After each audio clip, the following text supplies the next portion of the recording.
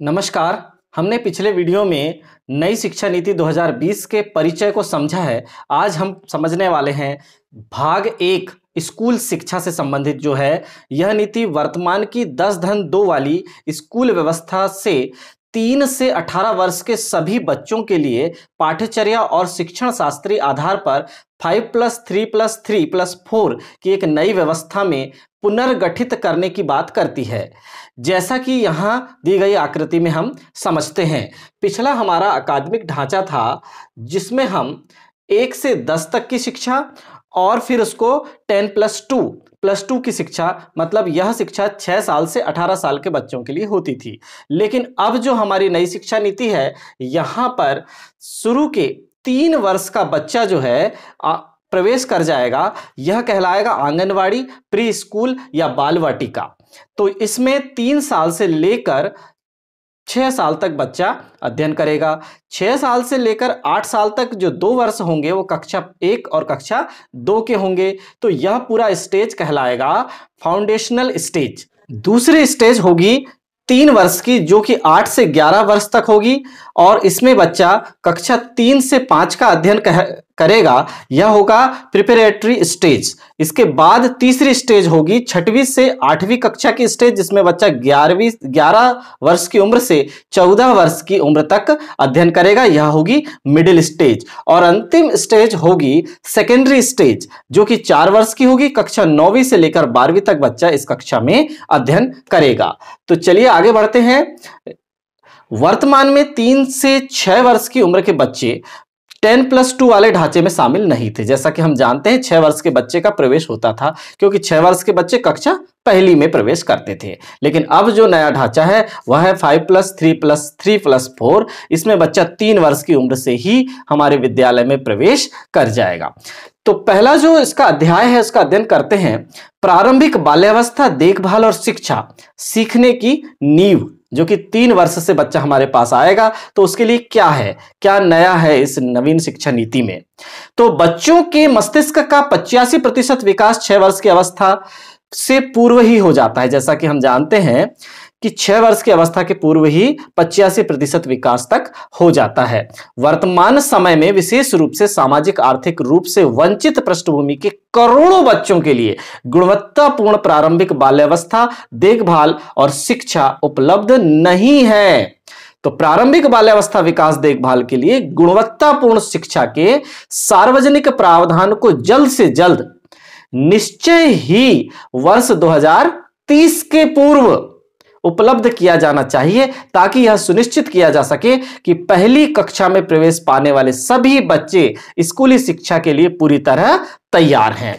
इसमें 1.2 को देखते हैं। ईसीसीई e यानी early childhood care and education में मुख्य रूप से लचीली, बहुआयामी, बहुस्तरीय खेल आधारित गतिविधि आधारित और खोज आधारित शिक्षा को शामिल किया गया है। तो ईसीसीई e का समग्र उद्देश्य बच्चों का शारीरिक, भौतिक विकास, संज्ञानात्मक विकास, समाज संवेदात्मक, नैतिक विकास, सांस्कृतिक विकास, संवाद के लिए प्रारंभिक भाषा, साक्षरता और संख्यात्मक ज्ञान के विकास में अधिकतम परिणामों को प्राप्त करना है। 1.3 में कहा गया है कि एनसीईआरटी द्वारा आठ वर्ष की आयु तक के सभी बच्चों के लिए दो भागों में प्रारंभिक बाल्यावस्था शिक्षा के लिए एक उत्कृष्ट पाठ्यक्रम और शैक्षणिक ढांचा विकसित किया जाएगा। अर्थात ज़ीरो से तीन वर्ष के बच्चों के लिए एक सब फ्रेमवर्क और तीन से आठ साल के लिए एक अन्य सब फ्रेमवर्क का विकास किया जाएगा। चलिए अब आगे बढ़ते हैं। 1.4 में कहते हैं कि पिछड़े जिलों और उन क्षेत्रों पर विशेष ध्यान और प्राथमिकता देनी होगी जो सामाजिक और आर्थिक रूप से पिछड़े हैं।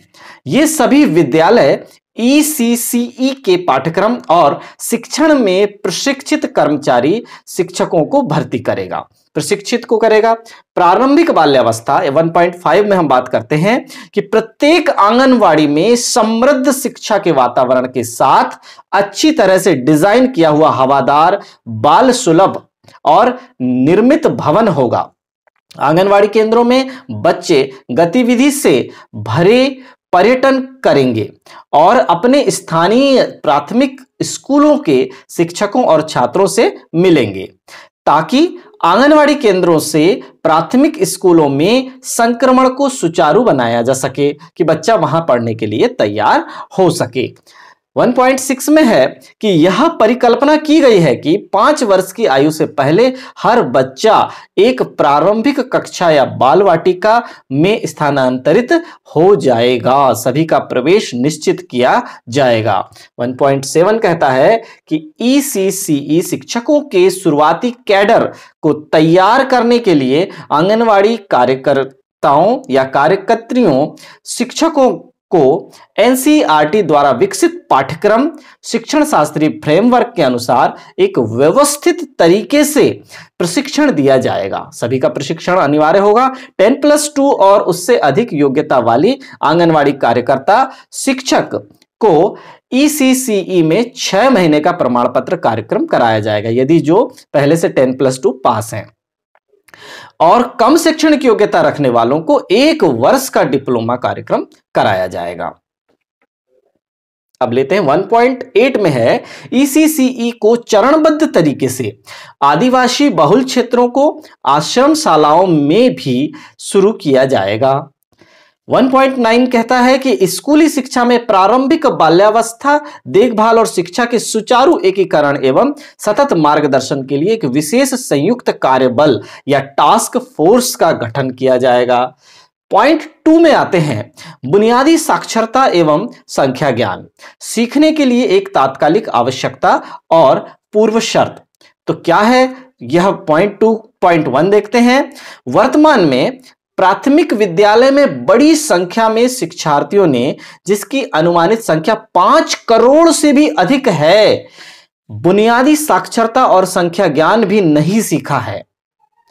अर्थात ऐसे बच्चे की सामान्य लेख को पढ़ने, समझने और अंकों के साथ बुनियादी जोड़ और घटाव करने की क्षमता भी नहीं होती। तो वन, टू पॉइंट टू में बताया गया है कि प्रत्येक छात्र को कक्षा तीन तक मूलभूत साक्षरता और संख्या ज्ञान को आवश्यक रूप से प्राप्त करना शामिल किया गया है इस नई शिक्षा नीति में, कि क्लास तीन तक वो सीख ही जाए। शिक्षा प्रणाली की सर्वोच्च प्राथमिकता 2025 तक प्राथमिक विद्यालय में सार्वभौमिक एक मूलभूत साक्षरता और संख्या ज्ञान प्राप्त करना होगा। अब 2.3 में बोला गया है कि सर्वप्रथम शिक्षकों के रिक्त पदों को जल्द से जल्द और समयबद्ध तरीके से भरा जाएगा। विशेष रूप से वंचित क्षेत्रों और उन क्षेत्रों में जहाँ शिक्षक बच्चों का अनुपात दर ज़्यादा हो, यानी ज़्यादा बच्चों के लिए कम शिक्षक हों, या जहाँ साक्षरता की दर निम्न हो, वहाँ स्थानीय शिक्षक या स्थानीय भाषा से परिचित शिक्षकों को नियुक्त करने पर विशेष ध्यान दिया जाना चाहिए। यह सुनिश्चित किया जाएगा कि प्रत्येक स्कूल में शिक्षक विद्यार्थियों का अनुपात PTR three thirty ratio one तीस अनुपात एक से कम हो और सामाजिक, आर्थिक रूप से वंचित बच्चों की अधिकता वाले क्षेत्रों के स्कूलों में शिक्षक विद्यार्थी का अनुपात 25 अनुपात एक से कम हो। कक्षा स्तर से नीचे के बच्चों को मूलभूत साक्षरता और संख्या ज्ञान सिखाने के उद्देश्य से शिक्षकों को सतत व्यावसायिक विकास सीपीडी के साथ संबलित, उत्साहित और प्रशिक्षित किया जाएगा। 2.4 है पाठ्यचर्या में बुनियादी साक्षरता और संख्या ज्ञान पर अतिरिक्त ध्यान दिया जाएगा।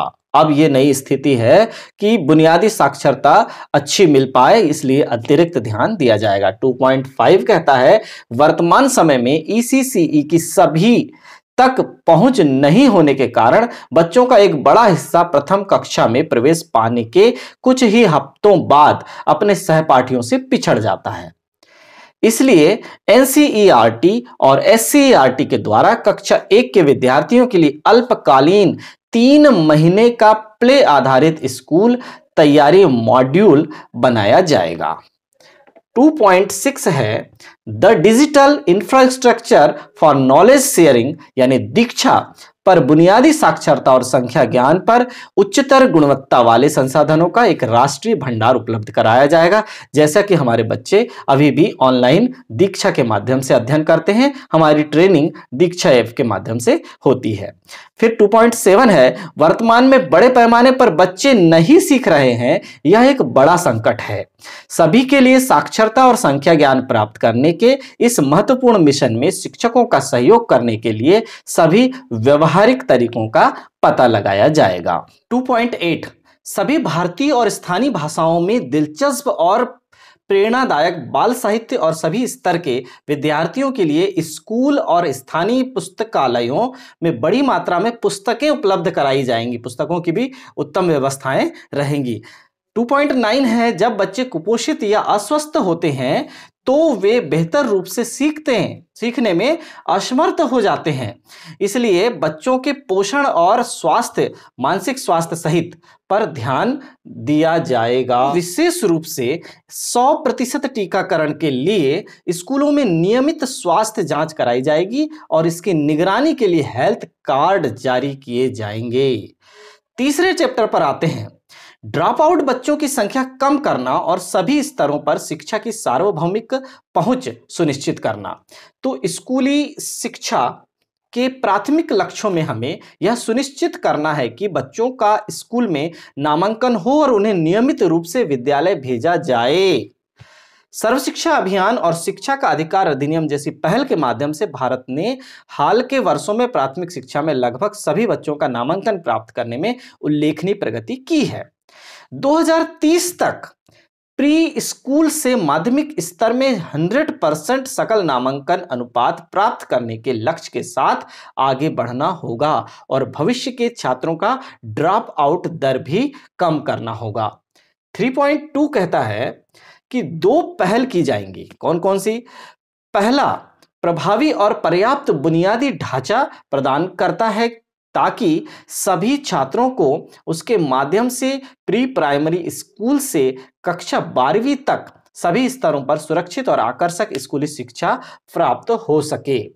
दूसरा यह है कि स्कूलों में सभी बच्चों की सहभागिता सुनिश्चित हो। उसके लिए बहुत ध्यान से सभी विद्यार्थियों की ट्रैकिंग करनी होगी। साथ साथ उनके सीखने के स्तर पर भी नज़र रखनी होगी। 3.4 कहता है, जब एक बार विद्यालय का अवसंरचनात्मक ढांचा और बच्चों की भागीदारी सुनिश्चित हो जाए तो कक्षा की गुणवत्ता को सुनिश्चित करने के लिए काम करना होगा और छात्रों को कक्षा से जोड़े रखना एक महत्वपूर्ण काम होगा। 3.5 है, सामाजिक आर्थिक रूप से वंचित समूहों पर विशेष ज़ोर देते हुए सभी छात्रों को सीखने में मदद करने के लिए स्कूली शिक्षा के दायरे को व्यापक बनाना होगा। 3.6 है, सरकारों और गैर सरकारी संस्थाओं के लिए विद्यालय के निर्माण को सरल करने के लिए संस्कृति, भूगोल और सामाजिक संरचना के आधार पर स्थानीय विविधताओं को प्रोत्साहित करने और शिक्षा के वैकल्पिक मॉडल बनाने की अनुमति देने के लिए स्कूलों के निर्माण संबंधी नियमों को हल्का बनाया जाएगा। 3.7 है। बच्चों के अधिगम में सुधार के लिए भूतपूर्व विद्यार्थियों और समुदाय से स्वयंसेवी प्रयासों को प्रोत्साहित किया जाएगा। इस उद्देश्य की पूर्ति के लिए साक्षर स्वयंसेवकों, सेवानिवृत्त वैज्ञानिकों, सरकारी अर्धशासकीय कर्मचारियों, भूतपूर्व विद्यार्थियों और शिक्षाविदों का एक डेटाबेस तैयार किया जाएगा। चौथा चैप्टर है, स्कूलों में पाठ्यक्रम और शिक्षण शास्त्र। को पुनर्गठित करना। 4.1 है, स्कूली शिक्षा के पाठ्यक्रम और शैक्षणिक ढांचे को पुनर्गठित किया जाएगा ताकि तीन वर्ष से आठ वर्ष आठ वर्ष से ग्यारह वर्ष ग्यारह वर्ष से चौदह वर्ष और चौदह वर्ष से अठारह वर्ष के विभिन्न पड़ावों पर विद्यार्थी के विकास की अलग अलग अवस्थाओं के मुताबिक उनकी रुचियों और विकास की जरूरतों को समुचित ध्यान दिया जा सके। 4.2 है।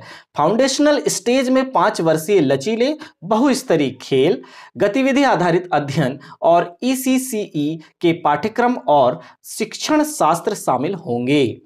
प्रिपेरेटरी स्टेज तीन वर्ष की होगी, जो कि तीसरी से पांचवी की होगी, जो फाउंडेशनल स्टेज की खेल खोज और गतिविधि आधारित शिक्षण शास्त्रीय शैली से आगे बढ़ेगी और कुछ हल्के फुल्के पाठ्यपुस्तक आधारित शिक्षण को भी शामिल किया जाएगा। मिडिल स्टेज में भी तीन वर्ष की शिक्षा होगी और इसमें विषय विशेषज्ञ शिक्षकों द्वारा विषय की अमूर्त अवधारणाओं पर काम शुरू किया जाएगा। के लिए विद्यार्थियों की पर्याप्त तैयारी हो चुकी होगी, क्योंकि यहाँ तक पहुँचने तक विद्यार्थी सीखने के लिए पर्याप्त तैयार हो चुका होगा। हाई स्कूल या सेकेंडरी स्टेज में चार साल के बहुविषयक अध्ययन शामिल होंगे, जो इस स्टेज के विषय उन्मुख शिक्षा क्रमिक और शिक्षण शास्त्री शैली पर आधारित होंगे। विशेष रूप से यदि किसी की इच्छा हो तो ग्रेड टेन के बाद व्यवसायिक या किसी विशेषज्ञता प्राप्त स्कूल में ग्रेड इलेवन ट्वेल्थ में अन्य कोर्स के चुनाव के विकल्प लगातार विद्यार्थियों के लिए बने रहेंगे। 4.4 कहता है, शिक्षा का उद्देश्य केवल संज्ञानात्मक समक्ष समक्ष न होकर चरित्र निर्माण और 21वीं शताब्दी के लिए कौशल से सुसज्जित करना है। यानी केवल संज्ञानात्मक सक्षमता नहीं, हमें चरित्र निर्माण करना भी उन्हें सिखाना है। 4.5 है। अनिवार्य अधिगम आलोचनात्मक चिंतन को बढ़ाने के लिए पाठ्यक्रम की विषय वस्तु को कम करना। कैसे? पाठ्यक्रम की विषय वस्तु को प्रत्येक विषय में कम करके इसे बेहद बुनियादी चीज़ों पर केंद्रित किया जाएगा ताकि आलोचनात्मक चिंतन और समग्र खोज आधारित, चर्चा आधारित और विश्लेषणात्मक आधारित अधिगम पर ज़रूरी ध्यान दिया जा सके। सभी चरणों में प्रायोगिक आधारित अधिगम को अपनाया जाएगा, जिसमें अन्य चीज़ों के अलावा स्वयं करके सीखना और प्रत्येक विषय में कला और खेल को एकीकृत किया जाएगा और कहानी आधारित शिक्षण शास्त्रीय को प्रत्येक विषय में एक मानक शिक्षण शास्त्र के आधार पर देखा जाएगा। 4.7 है, कला समन्वित शिक्षण को कक्षा प्रक्रियाओं में स्थान दिया जाएगा, जिससे ना सिर्फ़ कक्षा ज़्यादा आनंदपूर्ण बनेगी, बल्कि भारतीय कला और संस्कृति के शिक्षण में समावेश से भारतीयता से भी बच्चों का परिचय हो पाएगा। 4.8 है। स्थानीय खेलों सहित विविध शारीरिक गतिविधियों का शिक्षण प्रक्रियाओं में उपयोग किया जाएगा ताकि परस्पर सहयोग, स्वतः पहल करना, स्वयं निर्देशित होकर कार्य करना, स्व अनुशासन, टीम भावना, जिम्मेदार, ज़िम्मेदारी नागरिकता आदि जैसे कौशल विकसित करने में सहायता हो सके। कोर्स चुनाव के विकल्पों में लचीलेपन के माध्यम से छात्रों को सशक्त बनाना। कैसे? 4.9 है। विद्यार्थियों को विशेष रूप से माध्यमिक विद्यालय में अध्ययन करने के लिए अधिक लचीलापन और विषयों के चुनाव के विकल्प दिए जाएँगे। साल दर साल समग्र विकास और विषयों और पाठ्यक्रमों के विस्तृत चुनाव विकल्पों का होना माध्यमिक विद्यालय शिक्षा की नई विशिष्ट विशेषता होगी। 4.10 है, राज्यों को कला विज्ञान, मानविकी, भाषा, खेल और व्यावसायिक विषयों सहित व्यापक श्रेणी के विषयों के अधिक से अधिक लचीलेपन और आनंद के इन उद्देश्यों को प्राप्त करने के लिए अनुभव तरीकों पर ध्यान देना होगा। बहुभाषावाद और भाषा की शक्ति 4.11 देखते हैं। यह सर्वविदित है कि छोटे बच्चे अपने घर की भाषा मातृभाषा में सार्थक अवधारणाओं को अधिक तेज़ी से सीखते और समझ लेते हैं। जहाँ तक संभव हो, कम से कम ग्रेड पाँच तक, लेकिन बेहतर होगा कि यह ग्रेड आठ और उसके आगे तक भी हो। शिक्षा का माध्यम घर की भाषा, मातृभाषा, स्थानीय भाषा या क्षेत्रीय भाषा हो। फोर पॉइंट वन टू है, जैसा कि अनुसंधान स्पष्ट रूप से दिखते हैं कि बच्चे दो और आठ वर्ष की आयु के बीच बहुत जल्दी भाषा सीखते हैं। और बहुभाषिकता के से इस उम्र में विद्यार्थियों को बहुत अधिक संज्ञानात्मक लाभ होता है। ग्रेड थ्री और आगे की कक्षाओं में अन्य भाषाओं में पढ़ने और लिखने के लिए कौशल विकसित किए जाएँगे। 4.13 है। राष्ट्रीय एकता को बढ़ावा देने की ज़रूरत का ध्यान में रखते हुए त्रिभाषा फार्मूला को लागू किया जाना ज़रूरी होगा। हालाँकि तीन भाषा के इस फार्मूले में काफ़ी लचीलापन रखा जाएगा और किसी भी राज्य पर कोई भाषा थोपी नहीं जाएगी। 4.14 है। इस संबंध में उच्चतर गुणवत्ता वाले विज्ञान और गणित में द्विभाषी पाठ्यपुस्तकों और शिक्षण अधिगम सामग्री को तैयार करने के सभी प्रयास किए जाएँगे, ताकि विद्यार्थी दोनों विषयों पर सोचने और बोलने के लिए अपने घर की भाषा, मातृभाषा और अंग्रेज़ी दोनों में सक्षम हो सके। 4.15 है, जैसा कि दुनिया भर के कई विकसित देशों में यह देखने को मिलता है कि अपनी भाषा, संस्कृति और परंपराओं में शिक्षित होना कोई बाधा नहीं है, बल्कि वास्तव में शैक्षिक, सामाजिक और तकनीकी प्रगति के लिए इसका बहुत बड़ा लाभ होता है। राष्ट्रीय एकीकरण की दृष्टि से सभी युवा भारतीयों को अपने देश की भाषाओं को, के विशाल और समृद्ध भंडार उनके साहित्य के खजाने के बारे में जागरूक होना चाहिए। 4.16 है, ये यह भी जानेंगे कि कौन से भौगोलिक क्षेत्र में कौन सी भाषाएँ बोलते हैं। गतिविधि से उन्हें भारत की एकता और सुंदर सांस्कृतिक विरासत और विविधता दोनों का एहसास होगा और अपने पूरे जीवन भर वे भारत के अन्य हिस्सों के लोगों से मिलने, घुलने मिलने में सहज महसूस करेंगे। 4.17 है, संस्कृत को त्रिभाषा के मुख्यधारा विकल्प के साथ स्कूल और उच्चतम उच्चतर शिक्षा के सभी स्तरों पर छात्रों के लिए एक महत्वपूर्ण समृद्ध विकल्प के रूप में पेश किया जाएगा। संस्कृत भाषा को अधिक महत्व दिया जाएगा। 4.18 है, स्कूलों में भी व्यापक रूप से छात्रों के लिए विकल्प के रूप में संभवतः ऑनलाइन मॉड्यूल के रूप में अनुभव, अनुभवनात्मक और अनुभव अप्रोच के माध्यम से उपलब्ध होंगे ताकि यह सुनिश्चित किया जा सके कि ये भाषा और साहित्य जीवित और जीवंत हैं। सभी भारतीय भाषाओं को समृद्ध, मौखिक और लिखित साहित्य, सांस्कृतिक परंपराओं और ज्ञान को अपने में संजोए हुए हैं के लिए भी इसी प्रकार के प्रयास किए जाएँगे। 4.19 है। सार्वजनिक या निजी सभी स्कूलों में सभी विद्यार्थियों के पास भारत की शास्त्रीय भाषाओं और उससे जुड़े साहित्य को कम से कम दो साल सीखने का विकल्प होगा। 4.20 है। भारतीय भाषाओं और अंग्रेज़ी में उच्चतर गुणवत्ता वाले कोर्स के अलावा विदेशी भाषाएँ उपलब्ध कराई जाएँगी ताकि विद्यार्थी विश्व सांस्कृतिक के बारे में जाने। और अपनी रुचियाँ और आकांक्षाओं के अनुसार अपने वैश्विक ज्ञान को और दुनिया भर में घूमने फिरने को सहजता से बढ़ा सके।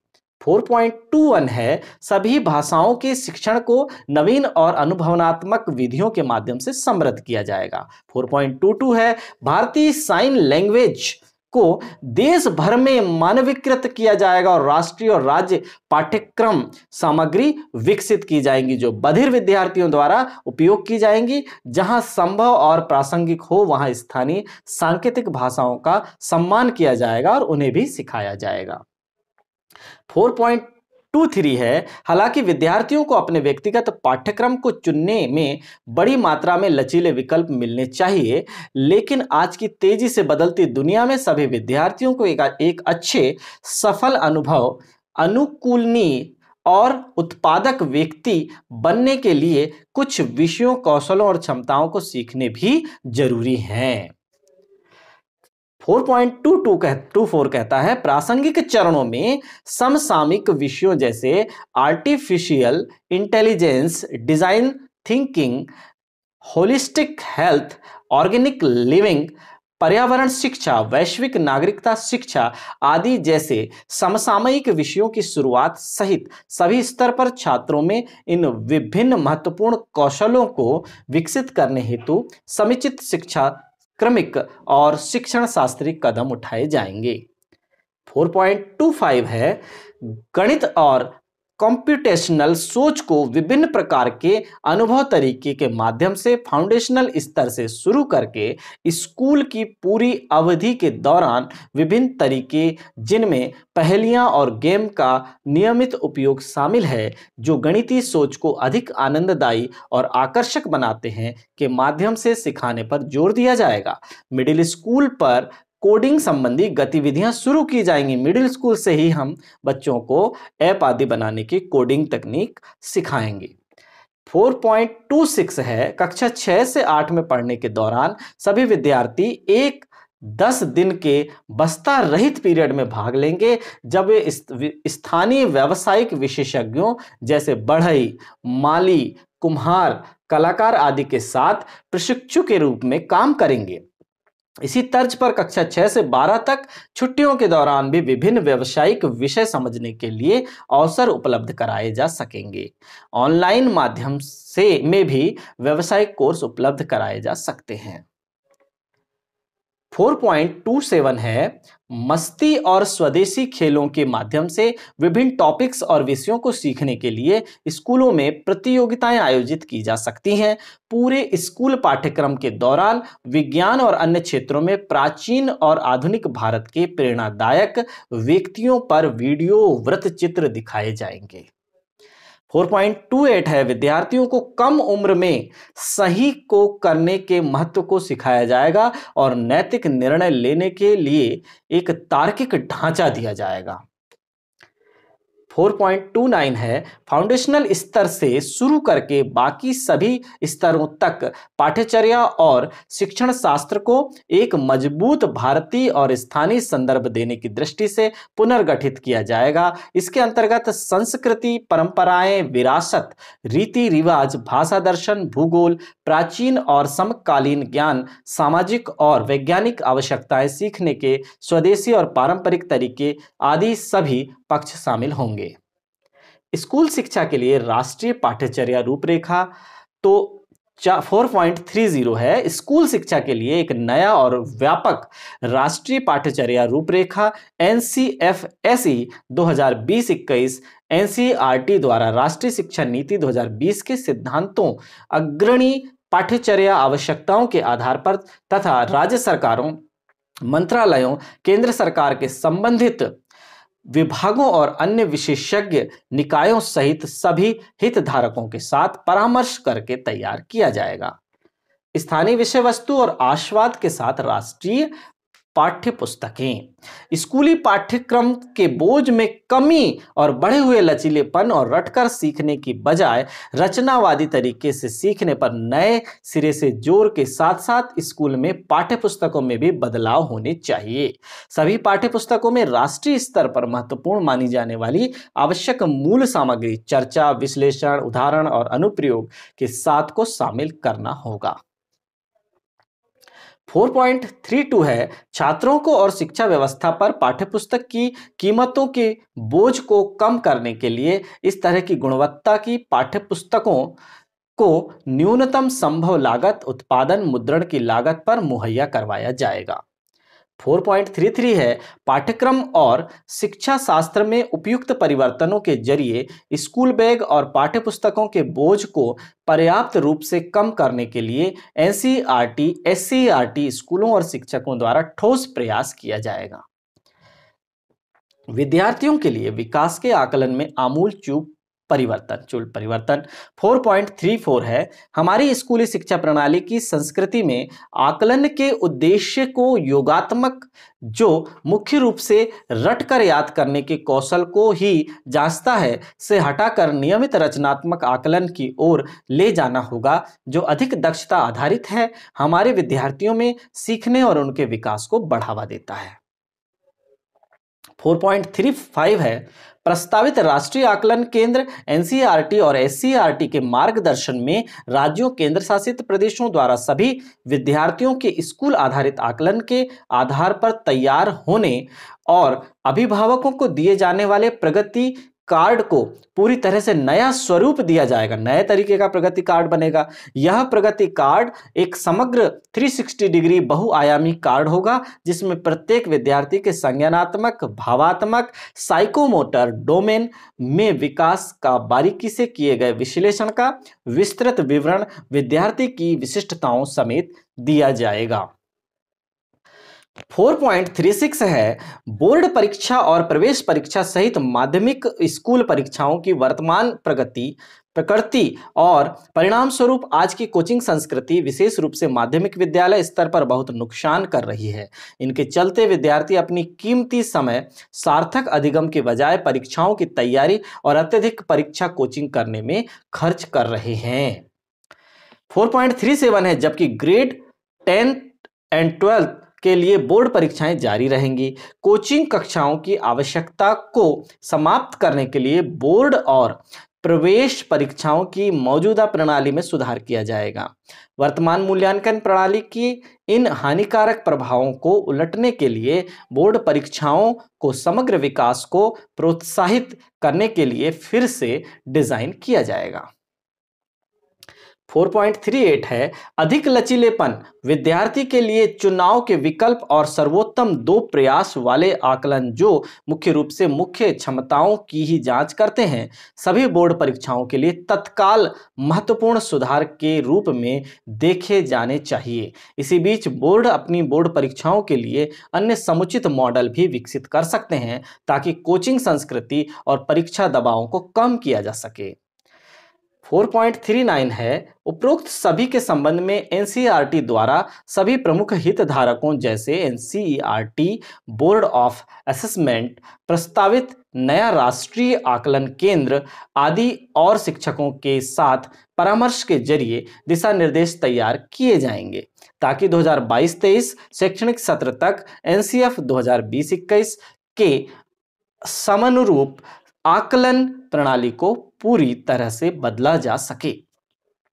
4.40 है, सभी विद्यालयों वर्षों के दौरान न कि केवल ग्रेड 10 एंड 12 के, ट्वेल्थ के अंत में प्रगति को ट्रैक करने के लिए छात्रों, अभिभावकों, शिक्षकों, प्रिंसिपलों के लाभ के लिए और स्कूलों और पूरी स्कूली शिक्षा प्रणाली में शिक्षण अधिगम प्रक्रियाओं में सुधार करने के उद्देश्य से सभी विद्यार्थियों को एक उपयुक्त प्राधिकरण द्वारा संचालित grade three, five and eight में स्कूल की परीक्षा देनी होगी। 4.41 है एमएचआरडी के तहत एक मानक निर्धारक निकाय के रूप में एक राष्ट्रीय मूल्यांकन केंद्र परख स्थापित किए जाने का प्रस्ताव है, जो भारत के सभी मान्यता प्राप्त स्कूल बोर्डों के लिए विद्यार्थी आकलन एवं मूल्यांकन के लिए मानदंड, मानक और दिशा निर्देश बनाने जैसे कुछ मूल उद्देश्यों को पूरा करेगा। 4.42 है, विश्वविद्यालय प्रवेश परीक्षा के लिए सिद्धांत समान होंगे। राष्ट्रीय परीक्षण एजेंसी, उच्चतर गुणवत्ता वाली सामान्य योग्यता परीक्षा, साथ ही विज्ञान, मानविकी, भाषा, कला और व्यवसायिक विषयों में हर साल कम से कम दो बार विशिष्ट सामान्य विषय की परीक्षा लेने का काम करेगी। 4.43 है प्रत्येक विद्यार्थी में जन्मजात प्रतिभाएँ होती हैं। जिन्हें खोजा जाना चाहिए, उनका पोषण करना चाहिए, उन्हें बढ़ावा देना चाहिए और उनका विकास करना चाहिए। ये प्रतिभाएँ अलग अलग रुचियों, प्रस्तावों और क्षमताओं के रूप में खुद को व्यक्त कर सकती हैं। जो छात्र किसी दिए गए दायरे में विशेष रुचि और क्षमताओं को दिखाते हैं, उन्हें उस दायरे को सामान्य स्कूली पाठ्यक्रम से परे भी अध्ययन करने के लिए प्रोत्साहित किया जाना चाहिए। 4.44 है शिक्षकों का उद्देश्य छात्रों को पूरक संवर्धन सामग्री और मार्गदर्शन और प्रोत्साहन देकर कक्षा में उनके सकल हितों और प्रतिभाओं को प्रोत्साहित करना होगा। विषय केंद्रित और प्रोजेक्ट आधारित क्लब और सर्कल, स्कूल कॉम्प्लेक्स जिलों और उससे आगे के स्तरों पर अत्यधिक प्रोत्साहित और समर्थित किए जाएँगे। 4.45 है। देश भर में विभिन्न विषयों में ओलंपियाड और प्रतियोगिता को आयोजित किया जाएगा, जिनमें स्कूल से लेकर स्थानीय और राष्ट्रीय स्तर पर ज़रूरी समन्वय के ज़रिए यह सुनिश्चित किया जाएगा कि सभी छात्र सभी स्तरों पर जिनमें उन्होंने क्वालिफाई किया है, उनमें भाग ले सके। 4.46 एक बार जब इंटरनेट से जुड़े स्मार्टफ़ोन या टैबलेट सभी घरों और या स्कूलों में उपलब्ध होंगे तो क्विज प्रतियोगिताओं, आकलन संवर्धन सामग्री वाले ऑनलाइन ऐप और साझा हितों के लिए ऑनलाइन समुदाय विकसित किए जाएँगे। पाँचवें टॉपिक में बात करते हैं शिक्षक की। 5.1 है, शिक्षक वास्तव में बच्चों के भविष्य को आकार देते हैं। अतः हमारे राष्ट्र के भविष्य का भी निर्माण करते हैं। इस नेक योगदान के कारण ही भारत में शिक्षक समाज के सबसे ज़्यादा सम्मानित सदस्य थे और सिर्फ़ अच्छे, सबसे अच्छे और विद्वान ही शिक्षक बनते थे। विद्यार्थियों को निर्धारित ज्ञान, कौशल और नैतिक मूल्य प्रदान करने के लिए समाज शिक्षक या गुरुओं को अपनी ज़रूरत की सभी चीज़ें प्रदान करता था। अध्यापक, शिक्षा की गुणवत्ता, भर्ती, पदस्थापना, सेवा शर्तें और शिक्षकों के अधिकारों की स्थिति वैसी नहीं है जैसी होनी चाहिए। और इसके परिणाम स्वरूप शिक्षकों की गुणवत्ता और उत्साह वांछित मानकों का प्राप्त नहीं कर पाता है। शिक्षकों के लिए उच्चतर दर्जा और उनके प्रति आदर और सम्मान के भाव को पुनर्जीवित करना होगा ताकि शिक्षण व्यवसाय में बेहतर लोगों को शामिल करने हेतु उन्हें प्रेरित किया जा सके। हमारे छात्रों और हमारे राष्ट्र के लिए सर्वोत्तम संभव भविष्य सुनिश्चित करने के लिए शिक्षकों की प्रेरणा और सशक्तिकरण की आवश्यकता है। भर्ती और पदस्थापना पर बात करते हैं। 5.2 है, उत्कृष्ट विद्यार्थी ही विशेषकर ग्रामीण क्षेत्र से शिक्षण पेशे में प्रवेश कर पाएँ यह सुनिश्चित करने के लिए एक उत्कृष्ट चार वर्षीय एकीकृत बीएड कार्यक्रम में अध्ययन के लिए बड़ी संख्या में मेरिट आधारित छात्रवृत्ति देश भर में स्थापित की जाएगी। ग्रामीण क्षेत्रों में कुछ विशेष मेरिट आधारित छात्रवृत्ति को स्थापित किया जाएगा, जिसके तहत चार वर्षीय बीएड डिग्री सफलतापूर्वक पूरा करने के बाद स्थानीय इलाकों में निश्चित रोज़गार भी शामिल होगा। 5.3 है, शिक्षक और समुदाय के बीच संबंध बने और वह अपने समुदाय से जुड़ा रहे, जिससे विद्यार्थियों को रोल मॉडल और शैक्षिक वातावरण मिल सके। इसे सुनिश्चित करने के लिए अत्यधिक शिक्षण, शिक्षक स्थानांतरण की हानिकारक प्रैक्टिस पर रोक लगाई जाएगी। राज्य केंद्र शासित प्रदेश सरकारों द्वारा निर्धारित तरीके से स्थानांतरण बहुत ही विशेष परिस्थितियों में किए जाएँगे। इसके अलावा पारदर्शिता बनाए रखने के लिए स्थानांतरण एक ऑनलाइन सॉफ्टवेयर आधारित व्यवस्था के द्वारा किए जाएँगे। 5.4 है, शिक्षक पात्रता परीक्षा, टीईटी, सामग्री और शिक्षा शास्त्र दोनों के संदर्भ में बेहतर परीक्षण सामग्री को विकसित करने के लिए मज़बूत किया जाएगा। स्कूल शिक्षा के सभी स्तरों, बुनियादी, प्रारंभिक, मिडिल और माध्यमिक के शिक्षकों को शामिल करते हुए भी टीईटी को विस्तृत किया जाएगा। 5.4 है, सभी विषयों में शिक्षकों की पर्याप्त संख्या सुनिश्चित करने के लिए विशेष रूप से कला, शारीरिक शिक्षा व्यावसायिक शिक्षा और भाषाओं जैसे विषयों में शिक्षकों को एक स्कूल या स्कूल कॉम्प्लेक्स में भर्ती किया जा सकता है। स्कूलों में शिक्षकों की साझेदारी को राज्य केंद्र शासित प्रदेशों की सरकारों द्वारा अपनाई गई ग्रुपिंग ऑफ़ स्कूल प्रारूप के अनुसार किया जा सकता है। 5.6 है, स्कूलों, स्कूल कॉम्प्लेक्स को छात्रों को लाभान्वित करने और स्थानीय ज्ञान और विशेषज्ञता को बढ़ावा देने के लिए विभिन्न विषयों जैसे पारंपरिक स्थानीय कला, व्यावसायिक शिल्प, उद्यमिता, कृषि या कोई अन्य विषय जहाँ स्थानीय विशेषज्ञता मौजूद है, में स्थानीय प्रतिष्ठित व्यक्तियों या विशेषज्ञों को विशेष प्रशिक्षक के रूप में रखने के लिए प्रोत्साहित किया जाएगा। 5.7 है। अगले दो दशकों में अपेक्षित विषयवार शिक्षकों की रिक्तियों का आकलन करने के लिए एक तकनीकी आधारित व्यवसाय, व्यापक शिक्षक आवश्यकता, आयोजन और भावी आवश्यकताओं के अनुमान का कार्य प्रत्येक राज्य द्वारा आयोजित किया जाएगा। सेवा काल के दौरान कार्य संस्कृति और वातावरण। 5.8 है, स्कूलों के काम के वातावरण और सांस्कृतिक में अमूल चूल परिवर्तन करने का प्राथमिक लक्ष्य शिक्षकों की क्षमताओं को अधिकतम स्तर तक बढ़ाना होगा ताकि वे अपना काम प्रभावी ढंग से कर सकें।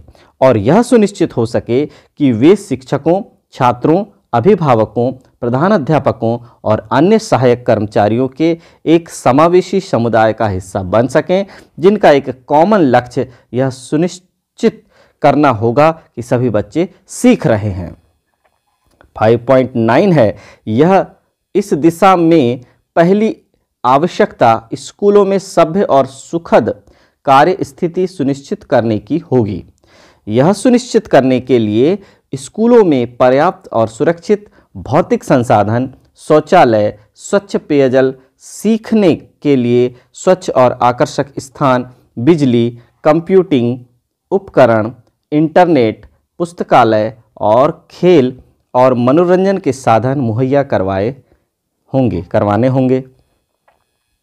5.10 है, प्रभावशाली स्कूली प्रशासन, संसाधनों की साझेदारी और समुदाय के निर्माण के लिए राज्य और से, संघ राज्य क्षेत्र की सरकारें, स्कूल कॉम्प्लेक्स या स्कूलों के वैज्ञानिकीकरण स्कूलों तक पहुँच को कम किए बिना जैसे उन्नतिशील प्रारूप अपना सकती हैं। फाइव फाइव पॉइंट इलेवन है, अभिभावकों और अन्य प्रमुख स्थानीय हितधारकों के साथ सहयोग से शिक्षक भी स्कूल और स्कूल कॉम्प्लेक्स के प्रशासन में स्कूल प्रबंधन समिति, स्कूल कॉम्प्लेक्स प्रबंधन समिति के सदस्य के रूप में अधिक शामिल होंगे।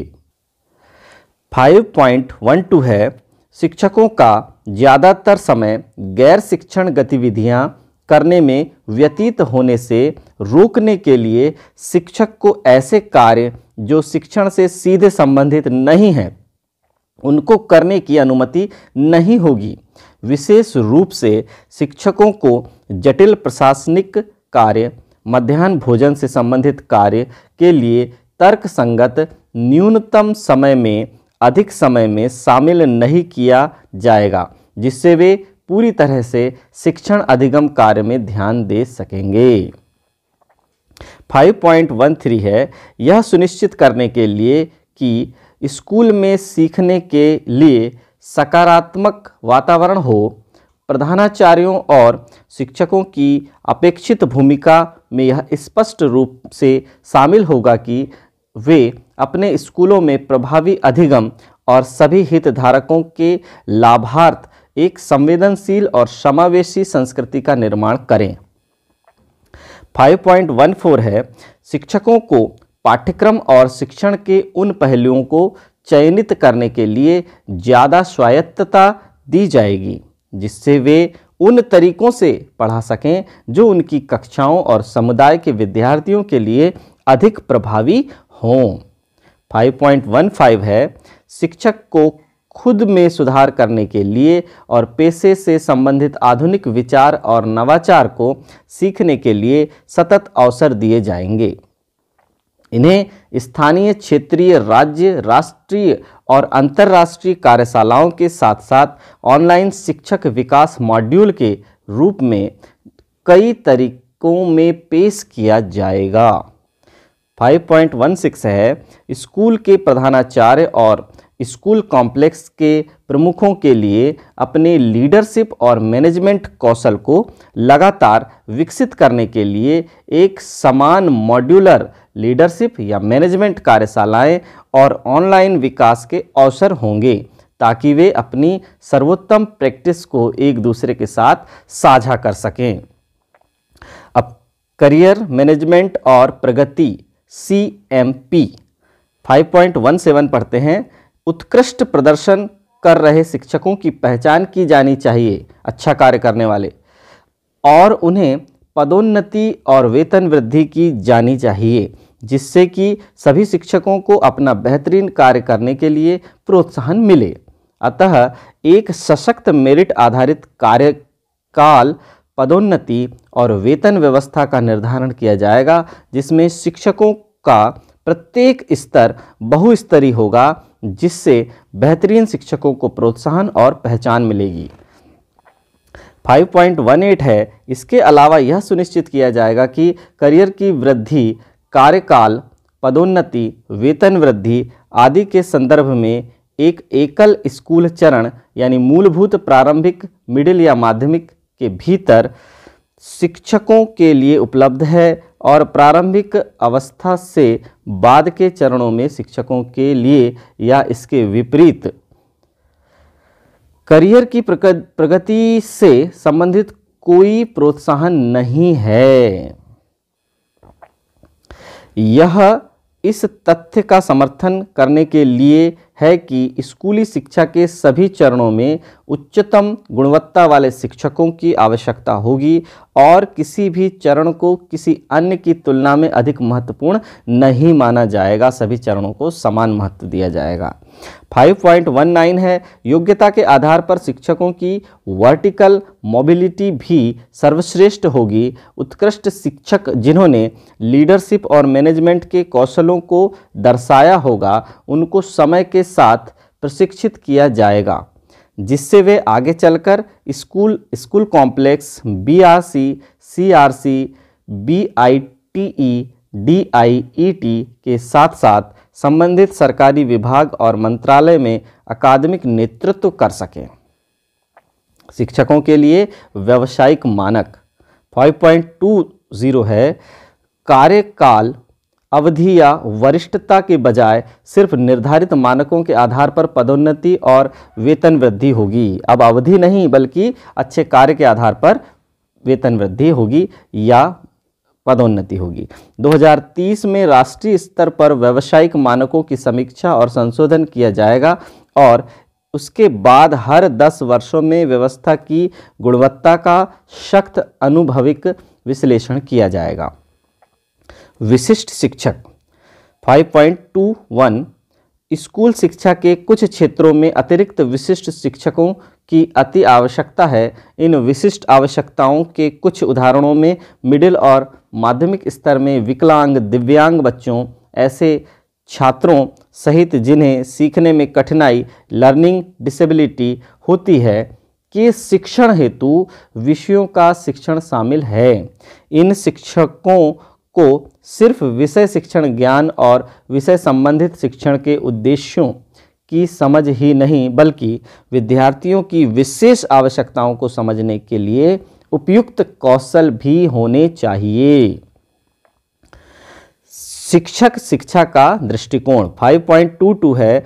यह मानते हुए कि शिक्षकों को उच्चतर गुणवत्ता की सामग्री के साथ साथ शिक्षण शास्त्र में प्रशिक्षण की आवश्यकता होगी। शिक्षक शिक्षा को धीरे धीरे वर्ष 2030 तक बहुविषयक कॉलेजों और विश्वविद्यालयों में शामिल किया जाएगा।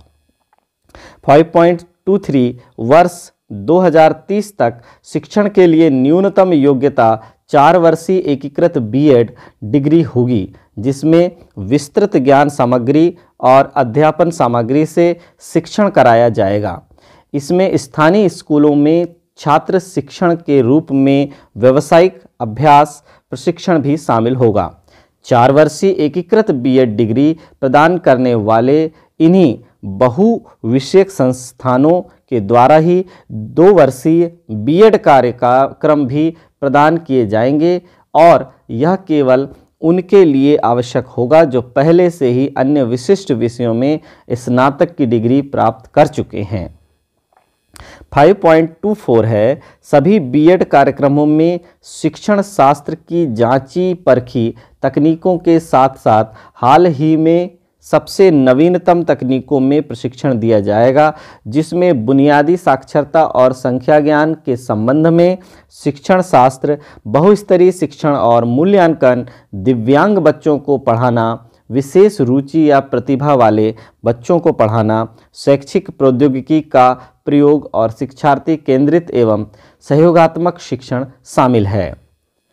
5.25 है, कुछ विशेष अल्प अवधि के स्थानीय शिक्षक शिक्षा कार्यक्रम B I T E D I E T या स्वयं स्कूल परिसरों में भी उपलब्ध होंगे, जिससे कि स्थानीय व्यवसाय, ज्ञान और कौशल जैसे स्थानीय कला संगीत, कृषि व्यवसाय, खेल बढ़ईगिरी और अन्य व्यावसायिक शिल्प को बढ़ावा देने के उद्देश्य से प्रख्यात स्थानीय व्यक्तियों को स्कूलों या स्कूल परिसर में मास्टर प्रशिक्षक के रूप में पढ़ाने के लिए नियुक्त किया जाएगा।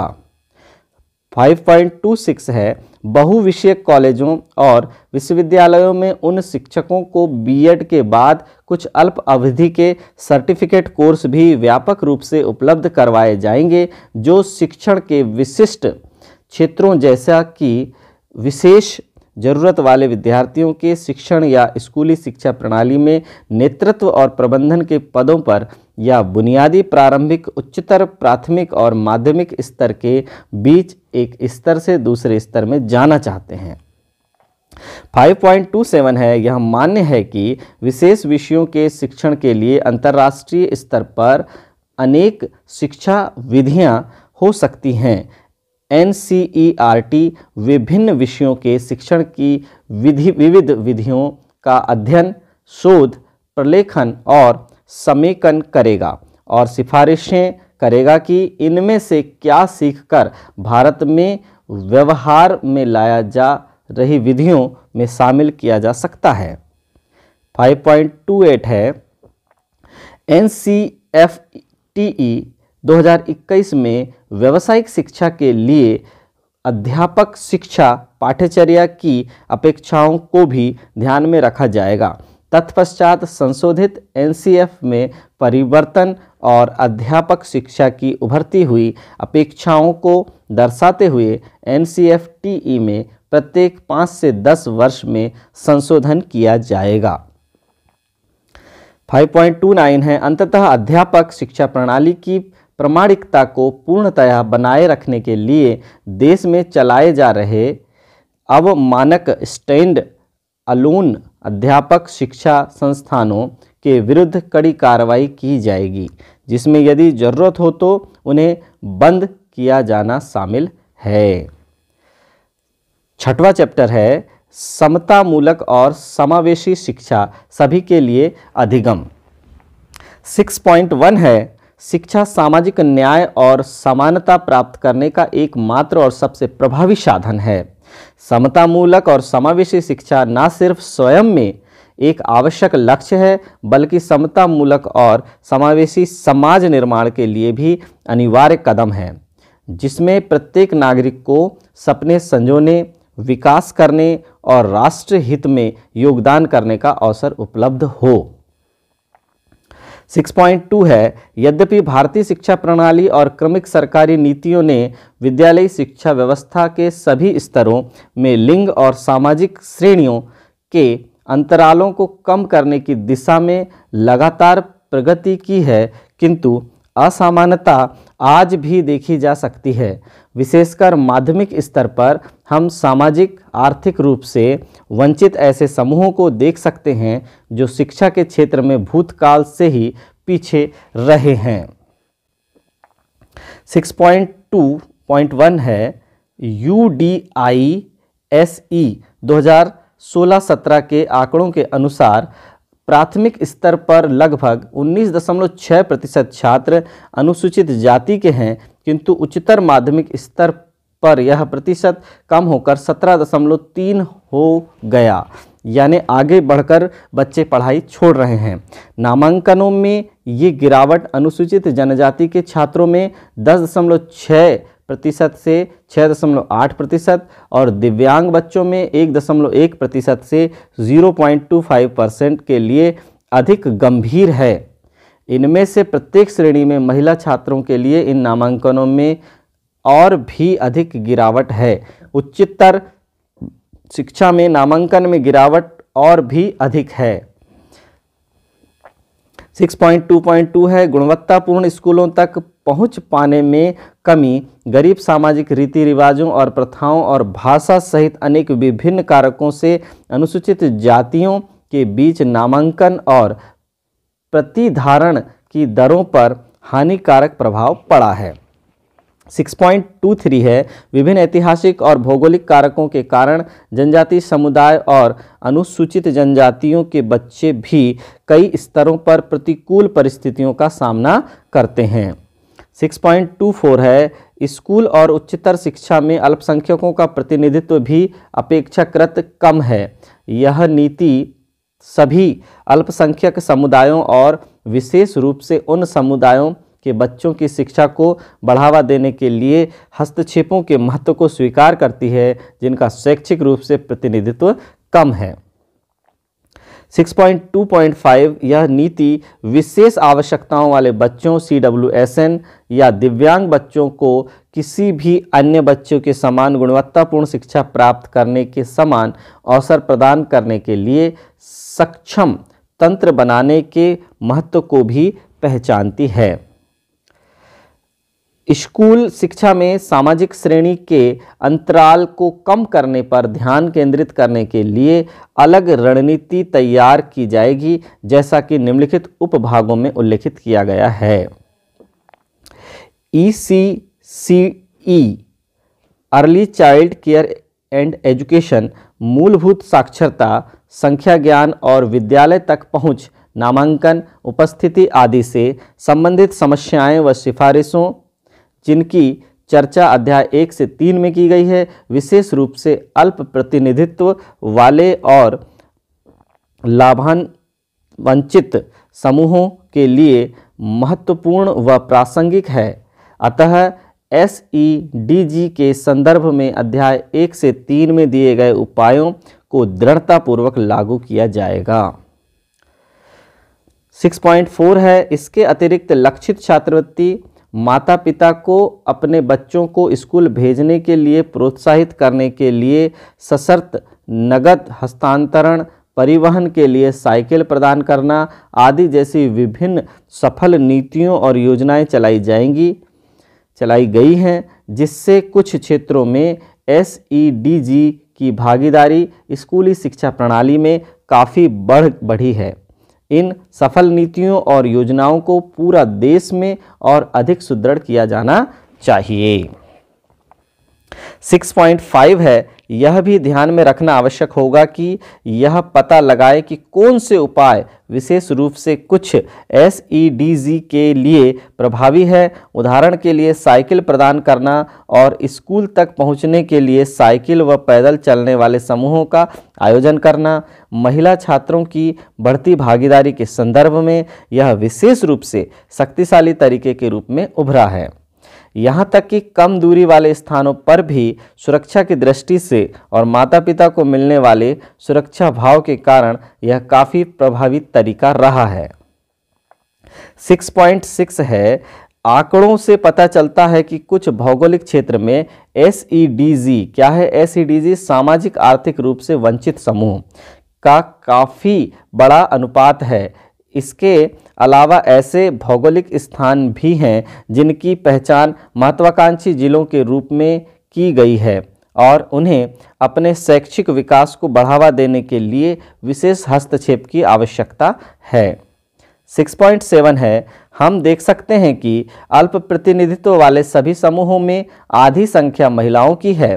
दुर्भाग्यवश, एस के साथ होने वाले अन्याय का सामना औरों से ज़्यादा इन समूहों की महिलाओं को करना पड़ता है।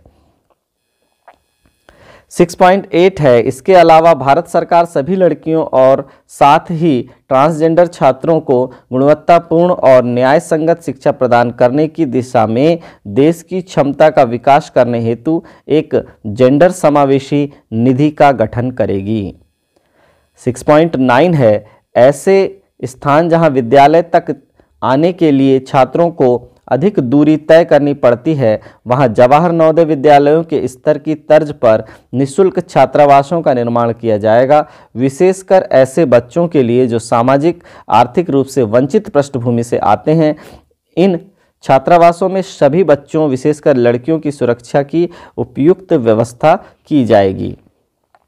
6.10 है ई सी सी ई में दिव्यांग बच्चों को शामिल करना और उनकी समान भागीदारी सुनिश्चित करना भी इस नीति को सर्वोच्च प्राथमिकता होगी।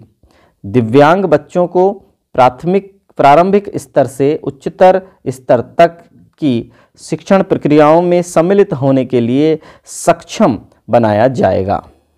6.11 है, इसके लिए दिव्यांग बच्चों के एकीकरण को ध्यान में रखते हुए विद्यालय व विद्यालय परिसर की वित्तीय मदद की दृष्टि से सुस्पष्ट व कुशल प्रावधानों की व्यवस्था की जाएगी। इसके साथ ही यह भी ध्यान दिया जाएगा कि विद्यालय व विद्यालय परिसरों में दिव्यांग बच्चों की आवश्यकता से संबंधित प्रशिक्षण प्राप्त शिक्षकों की नियुक्ति की जाए। 6.12 है, आर पी डब्ल्यू डी विकलांग व्यक्तियों के अधिकार या right of person with disability अधिनियम 2016 के अनुसार मूल दिव्यांगता वाले बच्चों के पास नियमित या विशेष स्कूली शिक्षा का विकल्प होगा। विशेष शिक्षकों के माध्यम से स्थापित संसाधन केंद्र, गंभीर अथवा एक से अधिक विशेष आवश्यकता वाले बच्चों के पुनर्वास व शिक्षा से संबंधित आवश्यकताओं में मदद करेंगे। एवं साथ ही उच्चतर गुणवत्ता की शिक्षा घर में ही उपलब्ध कराने होम स्कूलिंग व कौशल विकसित करने की दिशा में उनके माता पिता अभिभावकों को भी मदद करेंगे।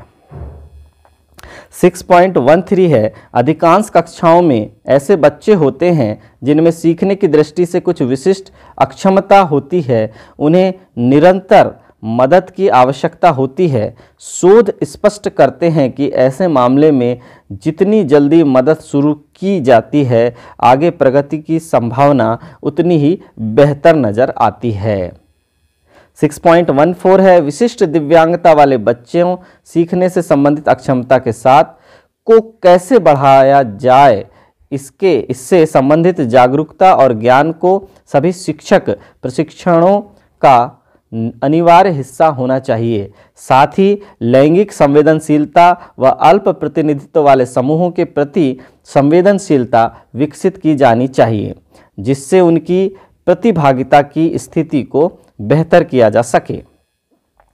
6.15 है, स्कूलों के वैकल्पिक रूपों को, अपनी परंपराओं और वैकल्पिक शिक्षण शास्त्रीय अभ्यासों को संरक्षित करने के लिए प्रोत्साहित किया जाएगा।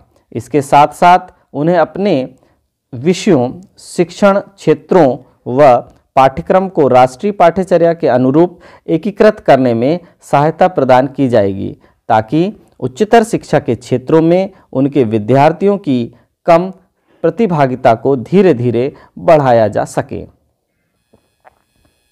6.16 है, एस एस के अंतर्गत और ऊपर वर्णित नीतिगत बिंदुओं के संदर्भ में अनुसूचित जाति और जनजातियों के शैक्षणिक विकास में असमानताओं को दूर करने पर विशेष ध्यान दिया जाएगा।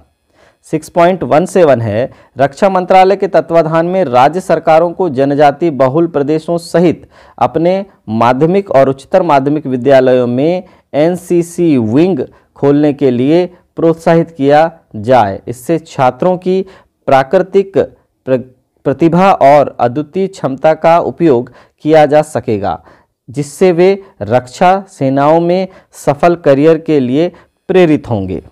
6.18 है, एस छात्र छात्राओं के लिए उपलब्ध छात्रवृत्ति, अवसर और योजनाओं में प्रतिभाग करने की दृष्टि से और समता को बढ़ाने के लिए कुछ सरलीकृत तरीके स्थापित किए जाएँगे, जैसे किसी ऐसी सकल एजेंसी या वेबसाइट के माध्यम से आवेदन लेना, जो सभी विद्यार्थियों तक इन योजनाओं, छात्रवृत्ति अथवा अवसरों की पहुँच सुनिश्चित करे और सिंगल विंडो प्रणाली के माध्यम से उनका आवेदन सुनिश्चित करें। 6.19 है, उपरोक्त सभी नीतियों और उपाय सभी एसईडीजी के लिए पूर्ण समावेश और समता प्राप्त करने के लिए महत्वपूर्ण तो है किंतु पर्याप्त नहीं इसके लिए विद्यालय की संस्कृति में बदलाव भी ज़रूरी है। 6.20 है छात्रों को शिक्षकों और अन्य विद्यालय कर, कर्मियों जैसे प्रशिक्षित सामाजिक कार्यकर्ता और परामर्शदाता इत्यादि द्वारा लाई गई इस नई स्कूली संस्कृति व पाठ्यक्रम में आए परिवर्तनों के माध्यम से संवेदनशील बनाया जाएगा। अध्याय सात पर चर्चा करते हैं, स्कूल कॉम्प्लेक्स क्लस्टर के माध्यम से कुशल संसाधन और प्रभावी गवर्नेंस। सेवन पॉइंट वन है, अब समग्र शिक्षा योजना के तहत समाहित सर्व शिक्षा अभियान और देश भर के राज्यों में होने वाले अन्य प्रयासों के द्वारा देश के हर बसाहट में प्राथमिक स्कूलों की स्थापना ने प्राथमिक स्कूलों में लगभग सार्वभौमिक पहुँच को सुनिश्चित करने में तो मदद की है, लेकिन इससे कई कम छात्र संख्या वाले स्कूल भी वजूद में आए हैं। 7.2 है, इन कम संख्या वाले स्कूलों के चलते शिक्षकों के नियोजन के साथ साथ महत्वपूर्ण भौतिक संसाधनों के उपलब्धता की दृष्टि से अच्छे स्कूलों का संचालन जटिल होने के साथ साथ व्यवहारिक नहीं है। शिक्षकों को अक्सर एक साथ कई कक्षाएँ पढ़ानी पड़ती हैं और कई विषयों को भी जिसमें वह विषय भी शामिल हो सकते हैं, जिनमें उनकी पहले से कोई पृष्ठभूमि नहीं है। 7.3 है, छोटे स्कूलों के अलगाव का भी शिक्षा और शिक्षण प्रक्रिया पर नकारात्मक प्रभाव पड़ता है। शिक्षक समुदायों और टीमों में सबसे अच्छा काम करते हैं और इसी प्रकार छात्र भी करते हैं। छोटे स्कूल भी शासन और प्रबंधन के लिए एक प्रणालीगत चुनौती पेश करते हैं। सेवन पॉइंट फोर है। हालाँकि स्कूलों का समेकन एक ऐसा विकल्प है जिस पर हमेशा चर्चा की जाती है। इसे बहुत ही सोच समझकर किया जाना चाहिए और केवल तभी किया जाना चाहिए जब यह सुनिश्चित कर लिया जाए कि इसकी पहुँच पर कोई प्रभाव ना पड़े। 7.5 है। इन चुनौतियों को राज्य, केंद्र शासित प्रदेश की सरकारों द्वारा 2025 तक स्कूलों के समूह बनाने या उनकी संख्या को समुचित रूप देने के लिए नवीन प्रक्रिया अपनाकर समाधान किया जाएगा। 7.6 है, उपरोक्त को पूरा करने के लिए एक संभावित तंत्र स्कूल परिसर नामक एक समूहन संरचना की स्थापना होगी, जिसमें एक माध्यमिक विद्यालय होगा, जिसमें पाँच से दस किलोमीटर के दायरे में आंगनवाड़ी केंद्रों सहित अपने पड़ोस में निचले ग्रेड की पेशकश करने वाले अन्य सभी विद्यालय होंगे। 7.7 है। स्कूल कॉम्प्लेक्स क्लस्टर बनाने, बनने से और कॉम्प्लेक्स में संसाधन के साझे उपयोग से दूसरे भी बहुत से लाभ होंगे। जैसे दिव्यांग बच्चों के लिए बेहतर सहयोग, ज़्यादा विविध विषय पर आधारित विद्यार्थी क्लब और स्कूल परिसर में अकादमिक खेल, कला, शिल्प शिल्प आधारित कार्यक्रमों का आयोजन, कला, संगीत, भाषा और शारीरिक शिक्षा के शिक्षक के साझे उपयोग से कक्षा में वर्चुअल कक्षाएँ आयोजित करने के लिए आईसीटी टूल्स के उपयोग सहित इन गतिविधियों का ज़्यादा समावेश सामाजिक कार्यकर्ता और सलाहकारों, काउंसलर की मदद से विद्यार्थियों के लिए बेहतर सहयोग की उपलब्धता और बेहतर नामांकन, उपस्थिति और उपलब्धियों में सुधार और स्कूल कॉम्प्लेक्स प्रबंधन समितियाँ केवल स्कूल प्रबंधन समितियों के बजाय माध्यम से बेहतर और मज़बूत गवर्नेंस, निरीक्षण निगरानी, नवाचार और स्थानीय हितधारकों द्वारा उठाए जाने वाले कदम। ये सब फ़ायदे यदि सीएम राइस जैसे स्कूल बनते हैं तो ये सब फ़ायदे मिलेंगे। 7.8 है। स्कूल कॉम्प्लेक्स क्लस्टर व्यवस्था से विद्यालयों का गवर्नेंस भी सुधरेगा और अधिक कुशल बनेगा। पहले डीएसई स्कूल कॉम्प्लेक्स क्लस्टर के स्तर पर अधिकार देगा, जो एक अर्ध स्वायत्त इकाई के रूप में कार्य करेगा। 7.9 है। इन कॉम्प्लेक्स क्लस्टर द्वारा दोनों दीर्घकालिक और अल्पकालिक संदर्भ में एक योजनाबद्ध तरीके से काम करने की संस्कृति का विकास होगा। स्कूल एसएमसी की मदद से अपनी योजनाएँ एसडीपी बनाएँगे। स्कूलों के प्लान के आधार पर स्कूल कॉम्प्लेक्स क्लस्टर विकास योजना एससीडीपी बनाए जाएँगे। सेवन पॉइंट वन ज़ीरो है। निजी और सार्वजनिक स्कूलों सहित सभी स्कूलों के बीच परस्पर सहयोग और सकारात्मक तालमेल बढ़ाने के लिए देश भर में एक निजी और एक सार्वजनिक विद्यालय को परस्पर संबद्ध किया जाएगा, जिससे ऐसे संबद्ध स्कूल एक दूसरे से मिल सीख सकें। और संभव हो तो एक दूसरे के संसाधनों से भी लाभान्वित हो सकें। 7.11 है। हर राज्य ज़िले को प्रोत्साहित किया जाएगा कि वह बाल भवन स्थापित करे, जहाँ हर उम्र के बच्चे सप्ताह में एक या अधिक बार उदाहरण के लिए सप्ताहांत या में जा सकें और कला, खेल और करियर संबंधी गतिविधियों में भागीदारी कर सकें। ऐसे बाल भवन जहाँ संभव हो, स्कूल कॉम्प्लेक्स क्लस्टर के हिस्से भी हो सकते हैं। बाल भवन के निर्माण पर भी ज़ोर दिया गया है। 7.12 है। स्कूल पूरे समुदाय के लिए सम्मान का और उत्सव का स्थान होना चाहिए। एक संस्थान के रूप में स्कूल की प्रतिष्ठा को पुनः स्थापित करना चाहिए और स्कूल स्थापना दिवस जैसे महत्वपूर्ण दिवस समुदाय के साथ मिलकर मनाए जाने चाहिए। अब लेते हैं आठवां चैप्टर, स्कूल शिक्षा के लिए मानक निर्धारण और प्रमाणन। स्कूली शिक्षा नियामक प्रणाली का लक्ष्य शैक्षिक परिणामों में लगातार सुधार करना होगा। यह स्कूलों, नवाचारों को सीमित दायरे में नहीं रखेगा। या शिक्षकों, प्रधानाचार्यों और विद्यार्थियों के उत्साह और हिम्मत में बाधा नहीं पहुंचाएगा।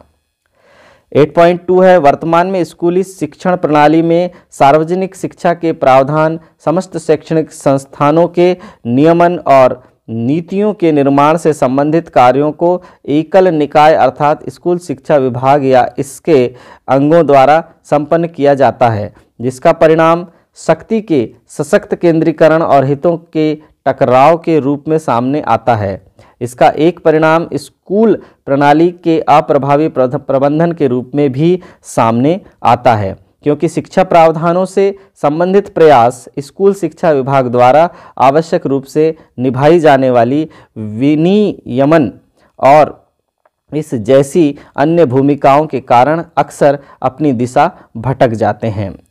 8.3 है, वर्तमान नियामक व्यवस्था जहाँ एक तरफ़ लाभ के लिए खोले गए अधिकतर फार्म प्रॉफिट निजी स्कूलों द्वारा बड़े पैमाने पर हो रहे शिक्षा के व्यवसायीकरण और अभिभावकों के आर्थिक शोषण पर नियंत्रण नहीं कर सका है। वहीं दूसरी तरफ़, ये अक्सर ही अनजाने में सार्वजनिक हितों के लिए समर्पित निजी परोपकारी स्कूलों को हतोत्साहित करता है। 8.4 है, सार्वजनिक शिक्षा प्रणाली एक जीवंत लोकतांत्रिक समाज का आधार है। और देश के लिए उच्चतम स्तर के शैक्षणिक परिणामों को शामिल करने के लिए इसके संचालन के तरीके को परिवर्तित और सुदृढ़ करना अत्यंत आवश्यक है। इसके साथ ही निजी परोपकारी स्कूलों को भी एक महत्वपूर्ण और फ़ायदेमंद भूमिका निभाने के लिए प्रोत्साहित और सक्षम किया जाना चाहिए। 8.5 है, स्कूल शिक्षा प्रणाली से संबंधित जिम्मेदारियाँ और इसके विनिमय मयन से संबंधित दृष्टिकोण के बारे में इस नीति के प्रमुख सिद्धांत और खास सिफारिशें इस प्रकार हैं। क नंबर है, स्कूल शिक्षा विभाग, जो स्कूल शिक्षा में सर्वोच्च राज्य स्तरीय निकाय है, सार्वजनिक शिक्षा प्रणाली के निरंतर सुधार के लिए समग्र निगरानी और नीति निर्धारण के लिए जिम्मेदार होगा। ख नंबर है, संपूर्ण राज्य के सार्वजनिक विद्यालयी प्रणाली के सेवा प्रावधान और शैक्षिक संचालन की ज़िम्मेदारी स्कूल शिक्षा निदेशालय की होगी, जिसमें डीईओ, बीईओ आदि भी शामिल हैं। फिर ग नंबर है प्री स्कूल शिक्षा निजी सार्वजनिक और परोपकारी सहित आवश्यक गुणवत्ता मानकों के अनुपालन को सुनिश्चित करने के लिए शिक्षा के सभी चरणों के लिए एक प्रभावी गुणवत्ता विनिमयन या विनियमन या मान्यता प्रणाली स्थापित की जाएगी। यह सुनिश्चित करने के लिए कि सभी स्कूल कुछ न्यूनतम व्यावसायिक और गुणवत्तापूर्ण मानकों का पालन करते हैं। राज्य केंद्र शासित प्रदेश, राज्य विद्यालय मानक प्राधिकरण नामक एक स्वतंत्र राज्यव्यापी निकाय की स्थापना करेंगे। घ नंबर है, राज्य में अकादमिक मानकों और पाठ्यक्रम सहित शैक्षणिक मामले, S C E R T जो एनसीईआरटी के साथ परामर्श और सहयोग के लिए नज़दीक से जुड़ा होगा, के नेतृत्व में होगा, जो कि एक संस्थान के रूप में सुदृढ़ किया जाएगा। 8.6 है, स्कूलों, संस्थानों, शिक्षकों, अधिकारियों, समुदायों और अन्य हितधारकों को सशक्त बनाने और इन्हें संसाधनों से परिपूर्ण बनाने का काम करने वाली संस्कृति, संरचनाएँ और व्यवस्थाएँ इन सब की जवाबदेही को भी सुनिश्चित करेगी। 8.7 है, सार्वजनिक और निजी स्कूल केंद्र सरकार द्वारा प्रबंधित, सहायता प्राप्त, नियंत्रित किए जाने वाले स्कूलों को छोड़कर का मूल्यांकन और प्रमाणन समान मापदंड, बेंचमार्कों और प्रक्रियाओं के आधार पर किया जाएगा, जो ऑनलाइन और ऑफलाइन सार्वजनिक प्रकटीकरण और पारदर्शिता पर ज़ोर देते हैं। 8.8 है स्कूल विनियमन प्रमाणन और गवर्नेंस के लिए तय मानक विनियामक ढांचे और सुगम प्रणाली की समीक्षा की जाएगी, ताकि पिछले दशक में प्राप्त की गई सीख और अनुभवों के आधार पर सुधार किया जा सके। 8.9 है, पब्लिक स्कूल शिक्षा प्रणाली का उद्देश्य उच्चतम गुणवत्ता वाली शिक्षा प्रदान करना होगा। ताकि यह अपने बच्चों को शिक्षित करने के लिए, जीवन के सभी क्षेत्रों से माता पिता के लिए सबसे आकर्षक विकल्प बन जाए। 8.10 है समय समय पर समग्र प्रणाली की आवधिक जाँच पड़ताल के लिए छात्रों के सीखने के स्तर का एक नमूना आधारित नेशनल अचीवमेंट सर्वे एनएएस प्रस्तावित नए राष्ट्रीय मूल्यांकन केंद्र परख द्वारा अन्य सरकारी निकायों जैसे कि एन के साथ उपयुक्त सहयोग के साथ किया जाएगा, जो अनेकों कार्यों जैसे डेटा विश्लेषण के साथ साथ मूल्यांकन प्रक्रियाओं में भी सहायता कर सकता है, जैसे कि इस वर्ष एन सर्वे हुआ था। 8.11 है, अंत में स्कूलों में नामांकित बच्चों और किशोरों को इस पूरी प्रक्रिया में नहीं भूलना चाहिए। आखिरकार स्कूल प्रणाली उनके लिए डिज़ाइन की गई है। ऐसे तंत्रों का विकास जो सभी छात्रों के लिए प्रभावी, सामयिक और सर्वविदित हो, उच्चतर प्राथमिकता वाले होंगे। तो यहाँ पर हम चैप्टर वन से एट तक स्कूल शिक्षा से संबंधित राष्ट्रीय शिक्षा नीति का सारांश का अध्ययन कर चुके हैं। तो यहाँ पर मैं आज का यह वीडियो समाप्त करता हूँ। धन्यवाद।